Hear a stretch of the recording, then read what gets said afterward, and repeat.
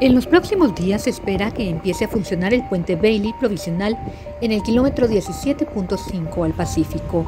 Aunque aún no hay una fecha definida, el ejército de Guatemala informó que existe una serie de preparaciones que deben tener los conductores al circular por el mismo.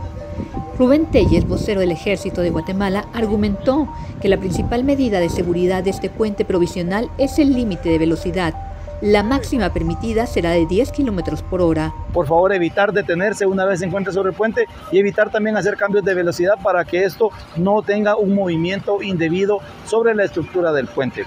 Estamos hablando de un puente de 224 toneladas que está sentado sobre un terreno que sufrió un hundimiento y esto es algo que nos obliga a ser muy cautos en su uso. Otra recomendación es el ingreso controlado al puente, ya que este tendrá rampas de acceso y reductores de velocidad.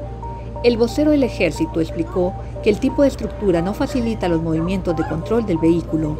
Por eso les pedimos que ingresen de forma controlada al puente, dijo. Como última recomendación, Telles se refirió específicamente a los conductores de motocicletas.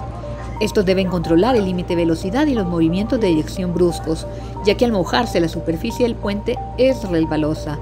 En algunas partes se trabajó con grasa la superficie mojada, es de por sí resbalosa con grasa puede representar algún tipo de riesgo si no se controla la velocidad, dijo.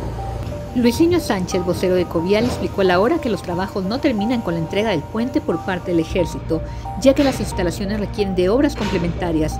La estructura metálica tiene una longitud de 60 metros, el hundimiento tiene una longitud de 18 a 20 metros, el cual es triplicado por el tamaño del puente.